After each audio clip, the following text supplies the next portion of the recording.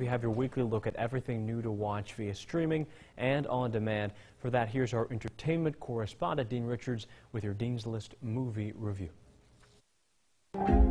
Saw it in his eyes, didn't know who I was. It was like I was a stranger to him. I'm not leaving my flat!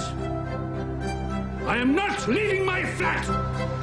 New in theaters this weekend is the touching Anthony Hopkins drama, The Father. In it, he's an elder being ravaged by dementia. Oscar winner Olivia Colman is his daughter, dealing with her ever changing dad and the tough decision over whether or not he should be put into a care facility. It's a touching subject that's handled with beauty and delicacy by Hopkins and Colman, each really playing several different characters as the disease progresses and he spirals further into darkness. It's a heartbreaking Dean's List day. There's also the film that I reviewed a couple of weeks ago and it was released into theaters that's now streaming on Apple TV Plus. Cherry from superstar Marvel directors Joe and Anthony Russo. It's a redemption story about an Afghan vet who returns home with PTSD and an opioid addiction. Tom Holland stars in this Dean's List B minus. For the family, there's Yes Day, starring Jennifer Garner and Edgar Ramirez as parents who give their kids a full day where they will say yes to everything. Your kids will love this movie that starts intending to be a real life lesson, but as you'd expect, turns into a free for all that any kid would love to have. See it on Netflix. I want to turn myself in.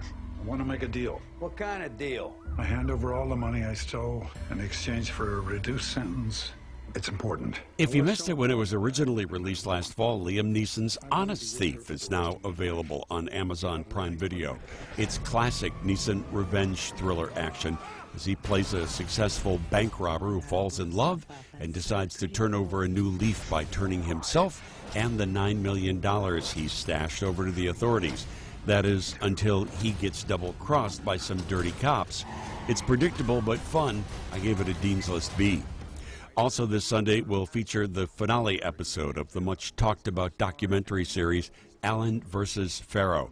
You can see it on HBO. Six feet apart, please. Come on out and do something about it then. Why don't you come say that to my face? Yeah, can I come say it to your face? I'll come say it to your face. No, no, no. Yeah. We are essential workers. He's offering us 2000 bucks for a vaccination. And in their typical irreverence, there's the South Park vaccination special a one hour special that takes on the madness that we've all lived through over the past year. It is very R rated. You can see it for free at southpark.cc.com or on HBO Max. You can always get my movie reviews and home video picks sent right to your phones every week just by texting the word Dean to 97999. Hope you have a great weekend in Chicago. I'm Dean Richards.